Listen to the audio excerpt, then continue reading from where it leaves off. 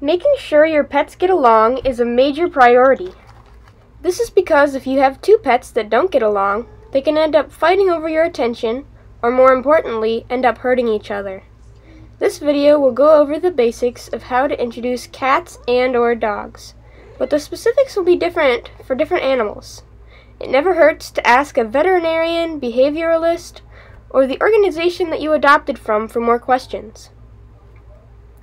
Before adopting, consider how your current pet or pets has reacted before to other animals. First, find a neutral area, somewhere that your existing pet does not go often and does not think of as their territory. A good example of one of these places is a laundry room or a bathroom. Block off this area with a door that the animals can't see through. Bring the new animal into the new area without letting either animal see the other. This would be a good time, if one of the animals you are introducing is a dog, to begin teaching them some basic commands to help the other animals keep safe. After a while, switch the animals, still not letting them see each other. Do this a few times if necessary. This lets the other animal get to know the other other animal's smells. Consider moving a blanket or something that smells like one animal into the area of the other and vice versa.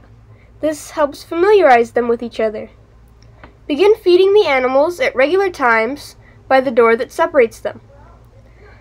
They still can't see each other, but they will gain an association between the other's smell and food. Bring the bowl closer to the door every time you feed them.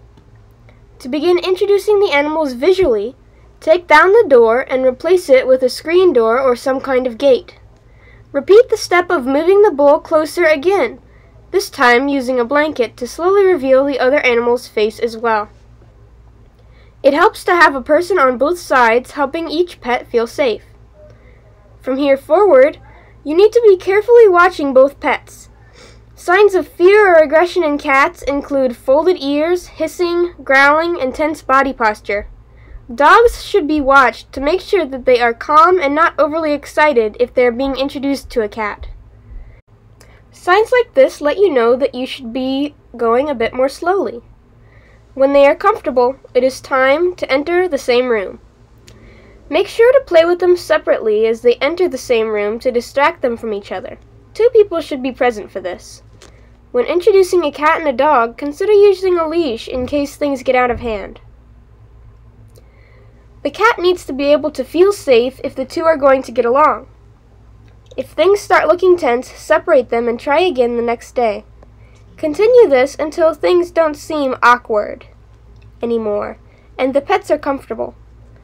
The other thing that you're going to want to do is make sure that neither pet feels left out when it comes to attention. This can lead to anger against the other pet, which can cause fights. Please keep this in mind when adopting, as all pets need attention. We hope that this video was helpful, and if you thought so, please check out our other videos and consider subscribing. Thank you for watching!